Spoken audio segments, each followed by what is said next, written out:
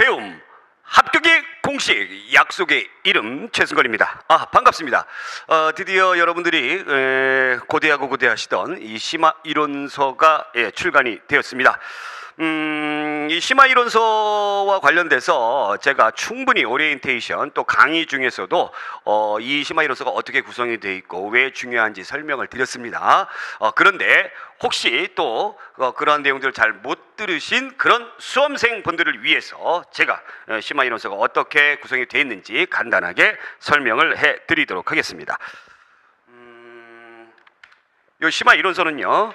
어, 다른 것하고 좀 다른 차별화가 있어요. 예, 다른 선생님들이라든가 다른 사이트에서 어, 이 한국사 부분을 다루는 부분에 있어 가지고 좀 차별화된 부분이 있습니다. 어떤 차별화된 부분이 있느냐? 굉장히 파트별로 즉 테마별로 구성이 돼 있다라는 얘기예요. 테마별로 구성이 되어 있다라는 것이 가장 큰 차이점입니다. 사실 심화적인 내용이 그닥 시험 문제에 많이 나오질 않아요. 몇 문제 나오냐면 세 문제에서 세, 네 문제 정도 나온다라고 보시면 되겠습니다. 그런데 이 세네 문제를 여러분들이 맞춰 주셔야지만 다른 경쟁자들에 비해서 여러분들이 뭐 할 수 있어요? 네. 어, 합격의 고지에 여러분들이 선점을 할 수가 있어요. 보통의 분들이 한국사 공부하시면 80점 정도 받거든요. 그거 받자고 여러분들이 정말 죽어라고 공부하시는 건 아니거든요. 사실 어디에서 요 세네 문제 맞추는 거기에서 고, 어, 맞추기 위해서 여러분들이 공부하시는 거라고 보시면 되겠습니다. 그러면 이렇게 요 세네 문제 심화적인 세네 문제를 맞추기 위해서 어떻게 공부를 하셔야 되느냐? 파트별로 정말 심도 있게 공부를 해주셔야 돼요. 그래서 저는 정말 대, 한민국에서 이 테마별로 한국사를 구성을 했습니다. 구성을 해서 심도 있게 다뤄주고 있으니까 여기 쭉 보시면 이제 정치, 그죠? 그 다음에 경제, 아마 여러분들 교재 4페이지 참조를 해주시면 되겠어요. 그 다음에 사회, 그죠? 어, 그 다음에 이제 5페이지에 뭐가 나와 있죠? 네, 통치 체제가 나와 있습니다. 통치 체제. 통치 체제가 나와져 있고요. 그 다음에 이제 학문과 문화가 나와져 있습니다. 학문과 문화 이렇게 나눠져 있고 어, 그 다음에 불교. 예, 불교 굉장히 중요하죠. 불교. 어, 그 다음에 독립운동 독립전쟁. 독립전쟁 이렇게. 그 다음에 제일 마지막에 이제 뭐가 있습니까? 사료를 여러분들 시험에 잘 나오는 사료들을 풍부하게 이렇게 제가 구성을 해놨습니다. 자 그렇기 때문에 이것을 이제 공부하실 때에 여기에서는 정말 심화적인 내용만 주로 다룹니다. 그런데 이 정치 부분을 한번 볼게요. 정치 부분을 볼 때 이것을 처음부터 끝까지 제가 자세하게 설명을 해드리지 않아요. 그런 부분들은 앞서서 어디서 제가 설명을 해드렸냐면 요약집에서 제가 설명을 해드렸어요. 통사별로 쭉 해가지고 사실 이 요약집도 어 거의 심화 이론서 내용 분량의 그 책이라고 보시면 되겠습니다. 그냥 말 말만 요약집이에요.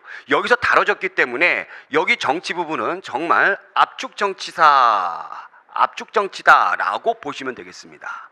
아시겠죠? 그래서 어, 공부를 하다가 아, 이 부분은 잘 모르겠는데 어, 요거 왜 설명을 잘 안 해주시지? 이런 부분들 정말 답답하시면 질문하시기 바라고요. 제가 친절하게 답변해 드릴 테니까 질문하시기 바라고 아 그래도 모르 그래도 잘 모르겠다. 이런 분들 같은 경우에는 기본적인 내용이 잘 안 되신 거예요. 학습이 안 되신 거예요. 그럼 그런 분들은 어디? 이 요약집 요약집 내용을 참조로 해서 공부를 하셔야 된다는 거 제가 미리 말씀을 드립니다. 그래야지만 나머지 부분들이 나머지 분들이 테마별로 쪼개져서 공부를 할 때에 심화적인 내용이 여러분들 머릿속에 쏙쏙 들어갈 수 있어요. 자 그러면 이 강의를 이 테마별 심화 이론서 이 강의를 다 여러분들이 예, 완강하신다면 거의 한국사 부분은 여러분들 완벽하게 준비를 하셨다라고 제가 자부 네, 또 자신감을 제가 심어드릴 수 있다라는 거 제가 말씀을 드리고요. 자, 그러면 어, 잔소리 그만하고 어, 이제 본격적으로 수업에 들어가 보도록 하겠습니다. 우선 정치사부터 들어갈게요. 정치사. 어, 정치사 들어가기 전에 여러분들 교재 7페이지에 보게 되면은 어, 한국사 연대표 나와져 있죠. 이렇게 쭉 나와져 있습니다. 쭉 나와져 있어요. 네, 전체 연대표가 나와져 있으니까 이거 굉장히 중요한 중요한 자료니까 여러분들 꼭 참조를 해서 보시기 바라고요. 어, 요거는 처음에 보셔도 좋고 중간 중간 공부를 하셔다가 어 이때가 어느 시대지? 그런 흐름을 파악하기 위해서 여러분들이 참조를 해서 보셔도 괜찮습니다. 아시겠죠? 자, 그러면 오늘은 오늘은 어, 교재 16쪽에 교재 16쪽에 역사란 무엇인가부터 철기 시대까지 한번 공부를 해 보도록 하겠습니다. 자, 역사란 무엇인가? 뭐 역사란 이제 과거에 있는 사실을 이제 역사가의 해석에 의해 가지고 재구성한 것을 역사다. 뭐 여러 가지 말들이 있죠. 또 역사가는 어, 과거를 어, 공부를 하면서 현재를 대비 현재를 바로 보고 그다음에 미래를 대비하기 위한 학문이다. 여러 가지를 들이 있는데 사실 그런 것들이 시험 문제 나오지 않습니다. 어, 역사란 이 두 사람이 꼭 나와요. 만약에 나온다면, 만약에 나온다면 나온 적도 있고요. 자 사실로서의 역사 두 가지가 있죠. 사실로서의 역사가 있고요. 그 다음에 기록으로서의 역사가 있다라는 겁니다. 사실로서의 역사는 랑케가 강조했어요. 랑케. 이 랑케는 여러분들이 나중에 우리나라의 어, 일제 강점기 때의 음, 역사학자들이 만든 진단학계라고 있습니다. 진단학계. 이 진단학계가 실증주의 사학을 했었거든요. 실증주의 사학. 이 실증주의 사학에서 랑케의 사관을 많이 받아들였다라는 거 참고를 해주시면 되겠고요. 기록으로서의 역사는 바로 어떤 부분의 역사입니까? 여러분들이 예, 카 해가지고 카 해가지고 네, EH 카가 바로 역사가의 해석을 강조한다. 그래서 주관적인 부분을 강조한다라는 겁니다. 이런 부분들 여러분들이 참고로 해 주시면 되겠고요. 자, 그러면 구석기 시대로 넘어갈게요. 구석기 시대 자, 구석기 아주 오래전 전이죠. 70만 년 전에 이렇게 구석기 시대가 오는데 여러분들 전기 구석기, 중기 구석기, 후기 구석기 이렇게 나눠져 있죠. 근데 교재 보시면서 해줘야 돼요. 전기 구석기, 중기 구석기, 후기 구석기 있는데 여러분들이 전기 구석기하고 그다음에 후기 구석기만 여러분들이 구분해 주시면 됩니다. 자, 전기 구석기는 한 가지로 여러 가지 용도를 사용했다. 한 가지로 한, 하나로 하나로 여러 가지를 사용했다. 이것이 있어요. 이것이 있어요. 그 다음에 이제 중기로 가게 되면서 중기로 가게 되면서 후기로 가게 되면은 이제 어, 이 석기의 용도가 변해요.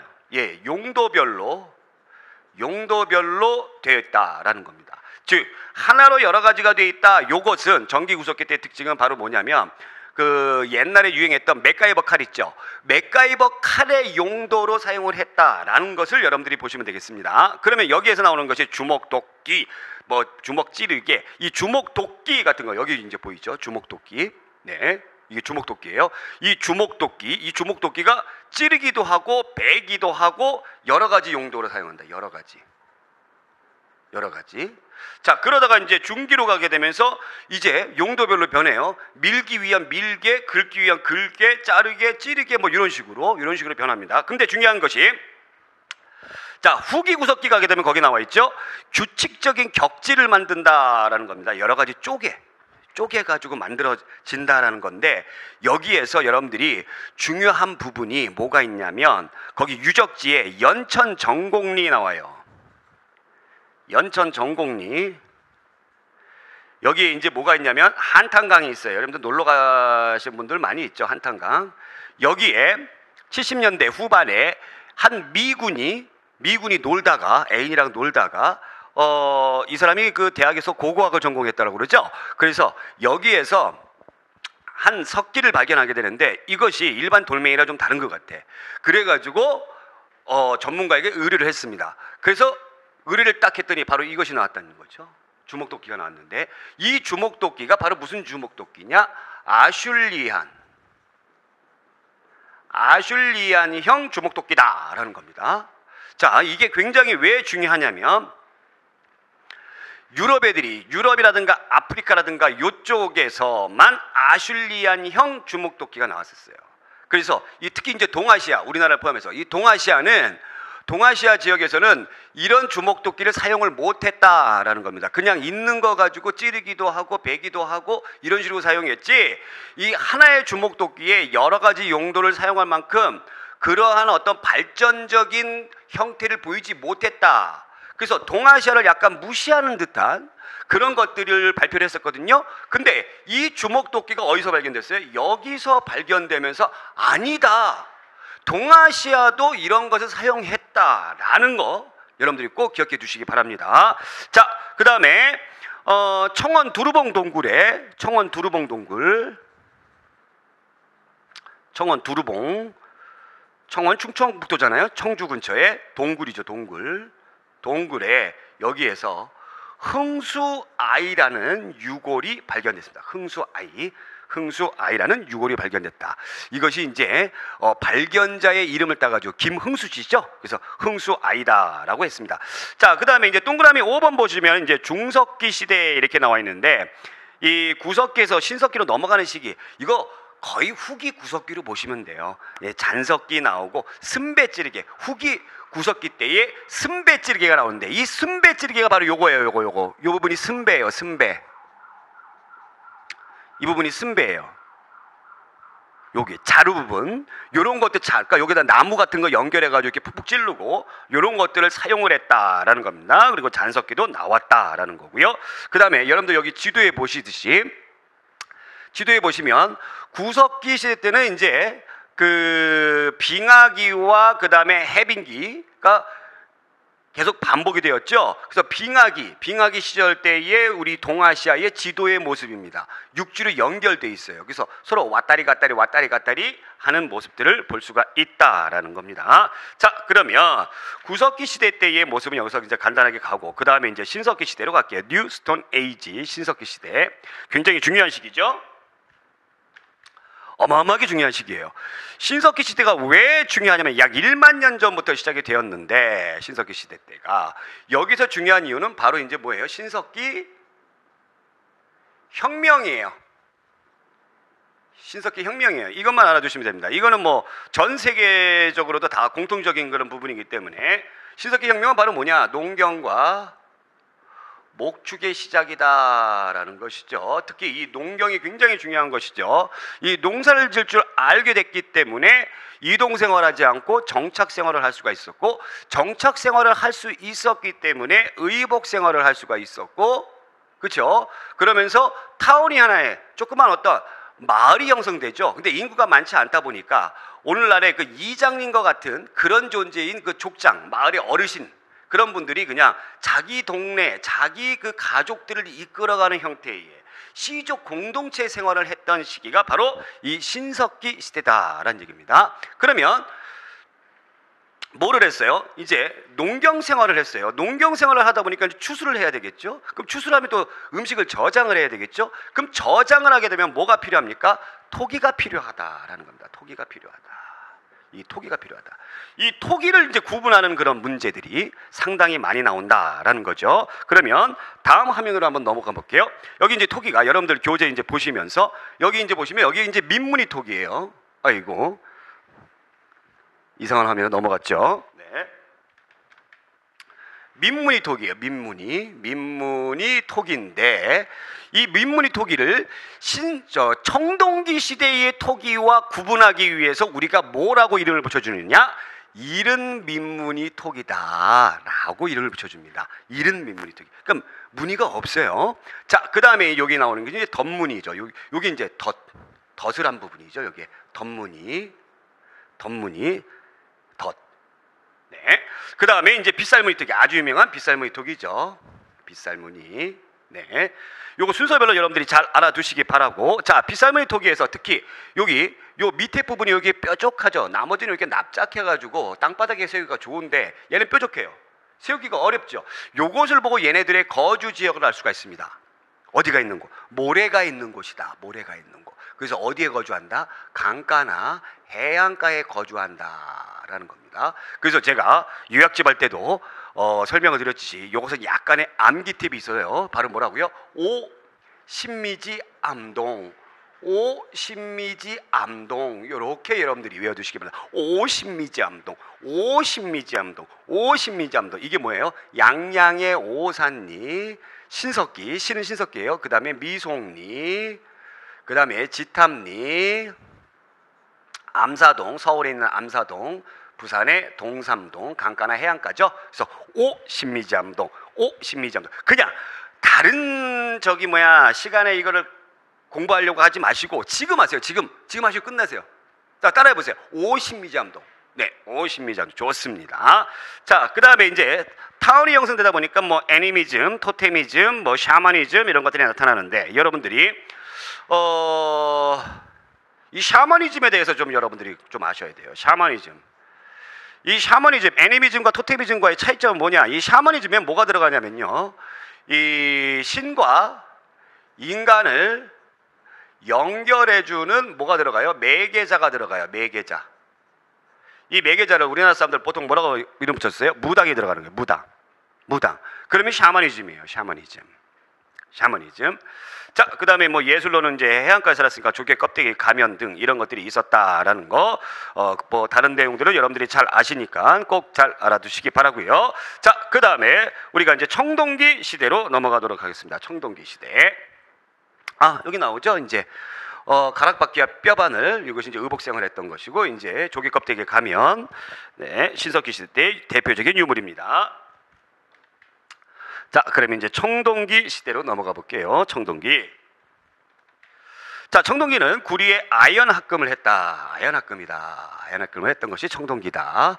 자, 우리나라에 이제 약 어, 지금으로부터 한 5천 년 전에 청동기가 들어왔다라고 이제 추정을 하고 있는데 이 청동기가 중요한 것은 우리는 Scytho-Siberian이다라는 겁니다. Scytho-Siberian. 시베리아는 아시죠, 여러분들? 즉, Scytho-Siberian이라는 게 바로 뭐냐면 북방민족을 통해 가지고 들어왔다는 얘기예요. 즉 우리가 뭐와 다르다? 예, 중국과 다르다. 중국과 다르다라는 것을 보여줍니다. 여기서 이제 중국의 민족들을 우리가 뭐라고 불러요? 한족이죠.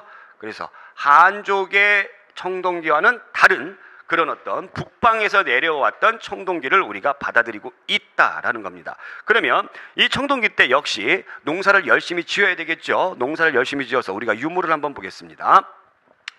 농사를 짓는데 이때 이제 본격적으로 우리가 무슨 농사를 지어요? 신석기 시대까지만 해도 그냥 잡곡 같은 거예요. 뭐 조라든가 피라든가 뭐 수수라든가 먹어도 먹어도 배가 부르지 않은 근데 좀 먹어도 이제 배가 부른 뭐 보, 아, 네. 제가 이거를 이제 사용한 지가 얼마 안 돼 가지고 네. 어, 이제 좀 먹어도 배가 부른 그런 이제 곡식들을 사용을 한다라는 거죠.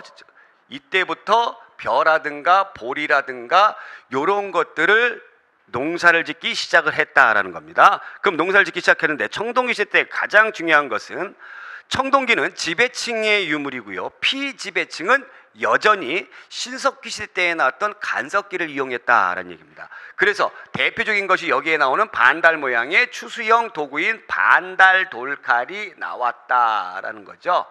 이거 하기 위해서 자, 그다음에 토기 보겠습니다. 토기 보는데 여기 이제 이것도 민문이 토기죠? 그죠? 그다음에 여기도 민문이 토기죠? 이름이 민문이 토기라고 돼 있죠? 네, 돼 있습니다. 근데 그 구분을 해야 되겠죠?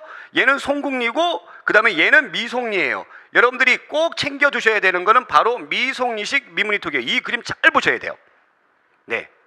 그리고 아까 신석기 시대 때 나왔던 민문이톡이 뭐라고요? 이른 민문이톡이다라는 겁니다. 자, 그런데 여기 유물에서 이제 쭉 보시면 비파형 동검 나왔고요. 뭐 거친 무늬 거울 나오고 덧띠 무늬 새긴 무늬 톡이 나오고 민무늬 톡이 나오고 미소니시 톡이 나오고 붉은 간톡이 나옵니다. 후기에 들어가면 붉은 간토기가 나와요. 이 붉은 간토기가 철기 시대 때에 예, 검은 간토기하고 비교가 돼요. 이 색깔이 검정색이고 이건 붉은색입니다. 이제 이 간토기라는 말의 명칭 갈았다는 얘기예요. 표면을 이렇게 갈았다는 얘기입니다. 표면을 갈아가지고 붉은색을 입혔다라는 거고 여기는 검은색을 입혔다라는 거예요. 이것은 청동기 시대 때의 유물이고 요것은 바로 철기 시대 때의 유물이다라는 거 꼭 챙겨 두시기 바랍니다. 아시겠죠? 자, 그 다음에 집터 보게 되면 이제 배산 임수 형태의 직사각형 집이다. 자, 신석기 시대 때도 우음집이었어요. 그러면 신석기 시대 때도 우음집이었는데 청동기 시대 때도 우음집이다라는 얘기예요. 이 우음집이 어떻게 다르냐? 이것이 중요한 거죠. 그러면 이제 이것도 이제 한번 설명을 해 보도록 하겠습니다. 짠. 자, 우음집인데 이게 대표적인 청동기 시대 때 우음집이죠. 신석기 시대 때 우음집하고 뭐 어떤 차이점이에요? 신석기 시대 때 인구가 적기 때문에 우음집의 크기가 그닥 크지 않죠. 그 우음집이 커요. 청동기 시대 때 우음집은 일단은 크기가 크고 그 다음에 그 다음에 어, 이 불을 이용하는 화덕 있죠, 화덕. 불을 이용하는 화덕. 이것이 벽 쪽에 붙어 있습니다. 벽 쪽에. 벽에 붙어 있어요. 자, 요것의 의미는 아, 우리가 이때부터 온돌 온돌 생활을 했구나라는 것을 알 수가 있다라는 겁니다. 온돌 생활을 했다. 자, 그 다음에 이 움집이 청동기 시대 움집이 용도별로 용도별로 존재를 했다라는 거예요. 용도별로 존재를 했다. 신석기 시대 때 움집은 하나의 움집에 이거 창고도 있고 뭐도 있고 뭐도 있고 뭐도 있고 그랬어요. 근데 청동기 시대 때 움집은 용도별로 존재를 했다라는 거 꼭 기억해 두시기 바랍니다. 자, 무덤으로는 어, 고인돌이 있습니다. 자, 청동기 시대 때 계급이 나타나기 시작을 해요. 신석기 시대 때까지만 해도 인구가 그닥 많지 않고 그렇기 때문에 누구는 죽어라고 일하고 누구는 뭐 띠까띠까 놀고 이런 게 없었어요. 다 같이 이제 일하고 먹고 자고 뭐 이렇게 했는데 청동기 시대 때 들어오게 되면서 계급이 발생했는데 이 계급의 발생의 원인은 바로 두 가지로 볼 수가 있어요. 하나는 청동을 사용했고요. 청동으로 뭐 했죠? 검을 만들었죠. 청동 검을 만들었죠. 그래서 돌멩이 들고 싸울 때보다도 검 들고 싸울 때 천양지차로 달라요. 그렇겠죠. 그러다 보니까 부족을 정복을 해요. 그래서 정복 당한 부족은 피지배 계층이 되는 거잖아요. 그래서 계급이 발생했습니다. 그다음에 이제 농경이 발달하기 시작을 했어요. 농경이 발달해서 변화, 보리 이런 것들을 하게 됐죠. 그래서 추수를 많이 한 사람들은 계층이 높아지게 되는 것이죠. 그래서 어, 신분의 어떤 구별이 나타나기 시작했던 것이 바로 청동기 시대 때다. 그래서 이 무덤 형태도 고인돌과 같은 그런 무덤이 나타나게 된다라는 겁니다. 고인돌, 북방신 고인돌이죠. 이 남방신 고인돌이죠. 이 고인돌은 세계에서 우리나라가 가장 많습니다. 이거 참고로 알아두시기 바라고. 어, 그다음에 돌무지 무덤이 있는데 이 돌무지 무덤이 이제 고인돌이 없는 것을 우리가 돌무지 무덤이다라고 아, 돌무지 무덤, 돌멩이를 막 여러 가지로 얹어 놓은 것을 갖다가 돌무지 무덤이다. 이 돌무지 무덤의 형태는 우리가 음, 고대 어, 고구려 할 때 저 자세하게 나오고요. 돌널 무덤, 이 돌널 무덤이 이 돌멩이 고인돌 돌멩이를 올려, 올려놓지 않은 그냥 형태의 무덤을 돌널 무덤이다라고 보시면 되겠습니다. 자, 어, 그리고 이제 예술로 여러분들 좀뭐 청동 방울이라든가 울주 반구대 바위 그림이 나와 있는데 그것도 한번 볼게요. 울주 방구대 바위 그림 나왔는데 이 청동 청동 방울이죠. 이걸로 주로 뭐 했겠어요? 제사 지내는 데 이용을 했어요. 네, 그렇죠. 그 다음에 이제 요게 어, 울주 방구대의 그림이에요. 여기에 이제 거북, 사슴, 호랑이, 고래 이런 것들이 나왔는데 이런 것들이 왜 나와 있을까요, 여러분들? 예, 이거 잡아먹고 싶어서 그 간절한 염원이죠. 그 다음에 고령 양전동 알터바의 그림에는 동심원 사각형 십자가입니다. 기하학적 무늬 등이 담겨져 있다라는 겁니다. 자, 그렇다면 이제 바로 다음 철기로 넘어가 볼게요. 철기로 넘어가는 BC 5세기경에 철기가 보급이 됩니다. 그럼 역시 철기를 가지고 무엇을 했겠느냐? 역시 무기를 만들었죠. 철과 청동의 차이는 청동은 무겁고요. 녹능점이 철기에 비해서 좀 낮습니다. 철기 같은 경우는 만들어 놓으면 굉장히 가벼워요. 더 튼튼하고 또 철이 청동에 비해서 훨씬 더 자원이 풍부해요. 근데 여러분들이 이거 알아두셔야 돼요. 청동기 시대 때도 철의 존재를 알았습니다. 근데도 왜 철을 만들지 못했느냐? 바로 녹능점을 어때, 어떻게까지 올릴 수 있느냐? 그 기술이 없어서 그런 것이죠. 그래서 철을 많이 만들었습니다. 자, 청동기와 철기의 구분하는 그 구분점은 바로 뭐냐면 청동기는 청동을 지배층의 도구로 사용을 했죠. 철기는 지배층이나 피지배층이나 다 사용을 했다라는 겁니다. 다 사용을 했다라는 얘기예요. 다 사용을 했다는 얘기예요.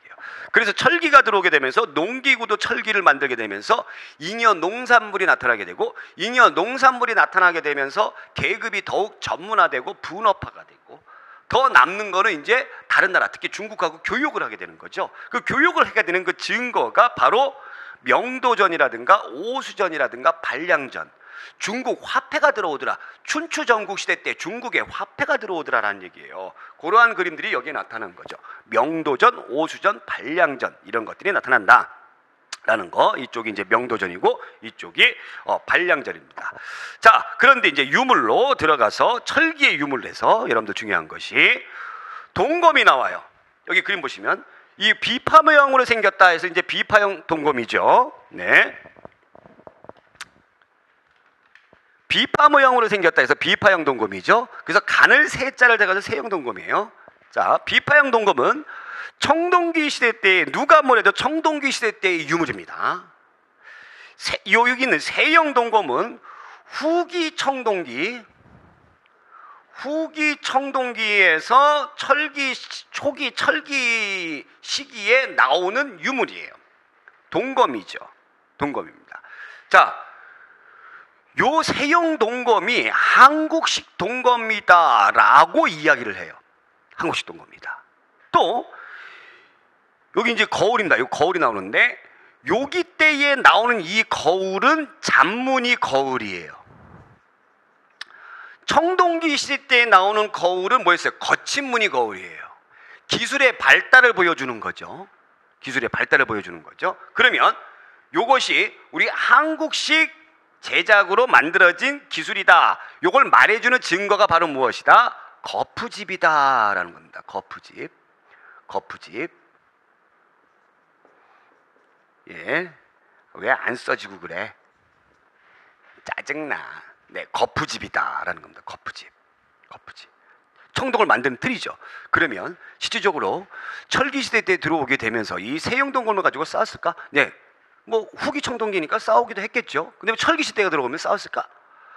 어, 철이라는 그 철로 만든 무기가 분명히 있었을 텐데 가볍고 튼튼한 싸웠다기보다는 뭐를 했겠어요? 어떤 이 지배층의 권위를 나타내주는 그런 상징으로 삼지 않았겠느냐 그런 생각을 해봅니다. 자, 그 다음에 이제 토기로 이제 민무늬 토기 역시 또 뭐 무늬가 없다 이렇게 나오고, 어, 그 다음에 이제 검은 간토기가 있습니다. 검은 간토기 아까 제가 말씀드렸던 청동기 시대 때의 아 철기 시대 때의 유명한 무엇이다? 네, 유물이다라는 거 여러분들이 꼭 기억해 두시면 되겠습니다. 자, 그 다음에 이제 어, 유적지로는 여러분들이 무덤 형태를 놓고 봤을 때 이제 여기 이제 동무덤이에요. 동무덤. 장독이다 해서 이제 동무덤이죠. 이 장독 안에다가 이제 시체를 이제 여기 보관하는 거고요. 자, 요것이 이제 바로 거기에 나와 있는 어, 널무덤입니다. 널찍하게 이제 관이죠. 관 형태로 나온 널무덤 이런 형태로 나타나져 있다. 이런 것이 이제 철기시대 때의 대표적인 어, 유물, 유적이다라는 거 생각해 두시면 되겠고요. 어, 이 선사시대의 문화가 이제 일본으로 전파가 되죠. 그러면서 신석기 문화는 조몬토기, 그 다음에 청동기시 문화는 어, 야요이 문화. 그래서 일본의 조몬토기에 영향을 줍니다. 일본의 신석기예요. 그 다음에 일본의 청동기 문화에 영향을 주는 것이 바로 이제 야요이 문화다. 야요이 문화다라는 거 요 정도 생각해 두시면 되겠습니다. 자 이렇게 해서 어, 정치 파트 오늘 첫 시간 압축 한국사 구석기 시대부터 철기 시대까지 중요한 부분, 핵심적인 부분들만 정리를 해 보도록 하겠습니다. 자 다음 시간에는 어, 고조선 그리고 그리고 어, 또 여러 나라들 뭐 부여국 우리 옥- 옥조동의 사만 이런 나라들에 대해서 한번 알아보도록 하겠습니다. 오늘 여기까지 고맙습니다.